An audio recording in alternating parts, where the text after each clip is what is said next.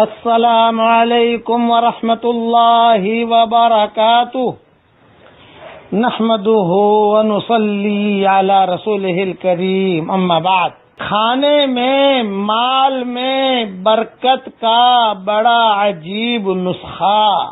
حضرت ابو حریرہ رضی اللہ تعالیٰ عنہ فرماتے ہیں کہ حضور صلی اللہ علیہ وسلم ایک لڑائی میں گئے تھے۔ تو فوج کو کھانے کی تنگی ہوئی۔ آپ صلی اللہ علیہ وسلم نے فرمایا، اے ابو حریرا تمہارے پاس کچھ کھانے کو ہے؟ کہتے ہیں میں نے عرض کیا، حضور، تھوڑی سی کھجوروں کے علاوہ اور کچھ نہیں۔ آپ نے فرمایا، انہی کو لے آؤ۔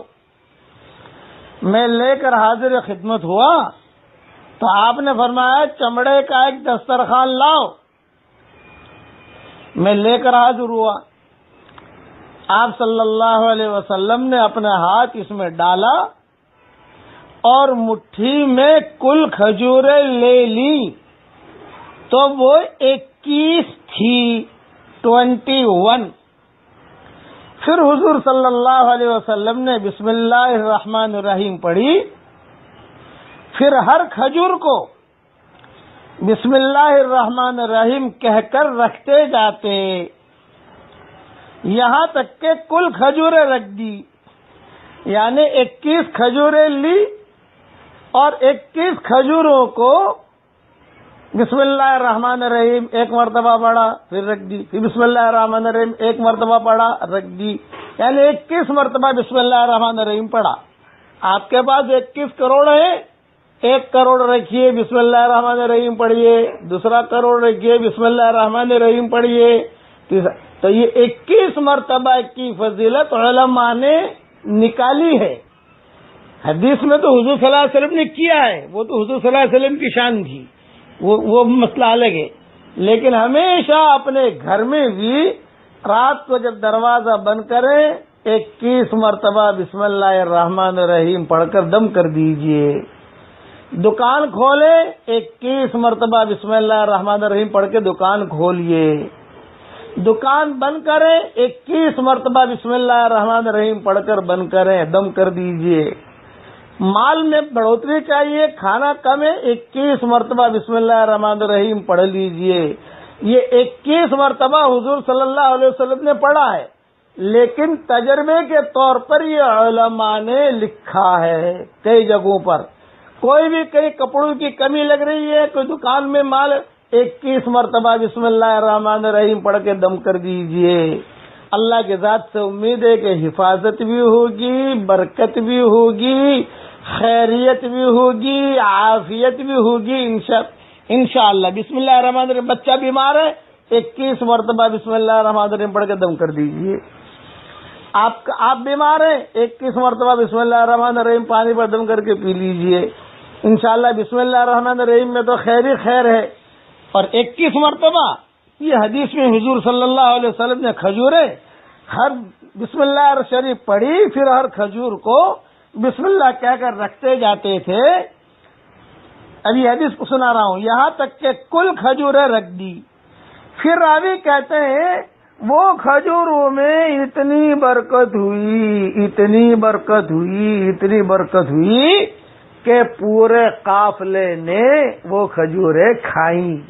اب ہو کہتے ہیں، مجھے بھی حضور صلی اللہ علیہ وسلم نے وہ اکیس کھجوریں دی تھی، تو میرے بھی وہ کھجوریں حضور کی زندگی میں میرے پاس بھی رہی، پھر صدیق اکبر کے زمانے میں میرے پاس رہی، پھر حضرت عمر کے زمانے میں میرے پاس رہی، پھر حضرت عثمان جب شہید ہوئے میرے پاس رہی، اور میری جھولی میں رہتی تھی۔ اسی وسق کھجوریں میں نے اس میں سے نکال کر لوگوں کو کھلائی ہے۔ حضرت عثمان کے زمانے میں جب حضرت عثمان کی شہادت ہوئی، وہ زمبیل کہیں گم ہو گئی۔ کھجوریں ختم نہیں ہوئی تھی۔ اکیس کھجوروں پر اکیس مرتبہ بسم اللہ الرحمن الرحیم حضور صلی اللہ علیہ وسلم نے پڑھا۔ یہ اکیس مرتبہ کا وظیفہ بھی میں نے آپ کو دے دیا۔ کوئی بھی کام کرنا ہو، دکان روزانہ کھول رہے ہو، اکیس مرتبہ بسم اللہ الرحمن الرحیم پڑھ کر دم کر دیجیے، انشاءاللہ خوب برکت ہوگی۔ دکان بند کر رہے ہو، اکیس مرتبہ بسم اللہ الرحمن الرحیم پڑھ کے دم کر دیجیے۔ لیکن یہ جو میں نے پیسوں کی، کروڑ کی، دکان کی، یہ ساری باتیں علماء کی بتائی ہوئی ہے۔ اور وہ کھجوری والی بات صحیح حدیث میں ہے۔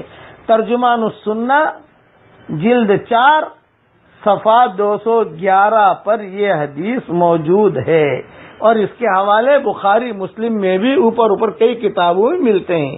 ان میں اکیس کسی جگہ اکیس مرتبہ کھجوروں کا تذکرہ ہے کسی جگہ نہیں لیکن ترجمان السنہ میں تو اکیس مرتبہ کا ترجمہ ہے۔ خود یعنی, یعنی لکھا ہی ہوا ہے۔ اب میں آپ کو کہتا ہوں کہ اکیس مرتبہ بسم اللہ الرحمن الرحیم مضبوطی سے پکڑ لیجیے۔ بغیر نماز کے نہیں، کوئی کہے خالی اکیس مرتبہ بسم اللہ الرحمن الرحیم پڑھوں نماز نہ پڑھوں برکت نہیں ہوگی۔ نماز بھی پڑھیے، قرآن بھی پڑھیے، اللہ سے بات بھی کیجیے۔ اللہ تعالی ہم سب کو عمل کرنے کے توفیق عطا فرمائے۔ اب میرے پاس میرے ساتھ پڑھ لیجیے سبحان اللہ۔ لا الہ الا اللہ۔ الحمد للہ حدیث شریف میں آتا ہے، یہ کلمہ پڑھتے ہی عرش کا طواف کرتا ہے اور اللہ کے سامنے تذکرہ کرتا ہے۔ میں نے پڑھا، عرش کے سامنے اللہ، میرا تذکرہ کر رہا ہے۔ آپ پڑھو گے، آپ کا بھی تذکرہ کرے گا۔ اللہ تعالی ہم سب کے ان سبقوں کو قبول فرمائے۔ آمین۔ السلام علیکم رحمۃ اللہ وبرکاتہ۔ اللهم لك الحمد حمدا كما ينبغي لجلال وجهك وعظيم سلطانك اللهم إنا نسألك الفوز في يوم القضاء ونزل الشهداء وعيش السعداء والنصر على الأعداء ومرافقة الأنبياء يا ذا المن والعطاء يا سميع الدعاء يا رافع السماء اللهم صل على سيدنا محمد بن عبد الله القائم بحق الله. ما ضاق أمر إلا فرجه الله. يا رب صل وسلم دائما أبدا على حبيبك خير الخلق كلهم. ربنا آتنا في الدنيا حسنة وفي الآخرة حسنة وقنا عذاب النار.